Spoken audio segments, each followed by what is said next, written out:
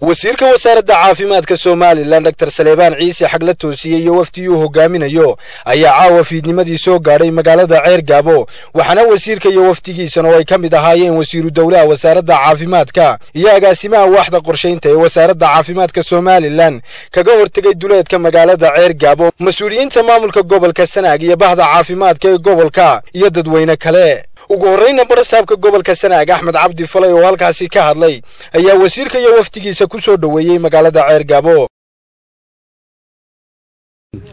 waxaynu halkan ku soo dhowaynaynaa oo inoogu yimi wasiirka caafimaadka master xagle toosiye iyo wasiirka dowlaha caafimaadka agaasimaha qorshaynta ee wasaaradda caafimaadka iyo wafdida ballaaran ay hogaaminayaan iyo guddoomiyaha hay'adda shifaad master muuse xasan iyo wafdiga ballaaran uu hogaaminayo wasiirku. Dhammaantiinba waxaanu leenahay ku soo dhowaada gobolka sanaag gaar ahaan caasimadiisa ceerigaabo aad iyo aad bay runtii farxad noogu tahay inaad maanta wasiir adiyo wafdigaaguba aad noo timaadaan caawa.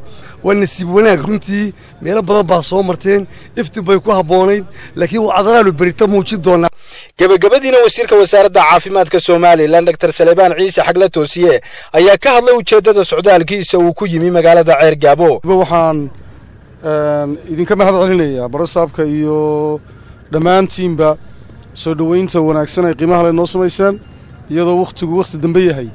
Inaad halkan nagu soo dhoweysaan waxayna tusaysaa wanaagga iyo iyo iyo iyo sharafta aad aanu idinka mudannahay aad iyo aadna waad umahadsantihiin waxaanu idiin wadnay.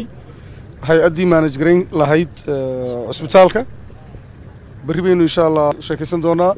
Aad iyo aad baan idiin salaamayaa. Intaasi kadibna wasiirka iyo wafdigiisan waxaa loo soo gelbiyey gudaha magaalada ceer gaabo. Cabdiraxmaan axmed ilsar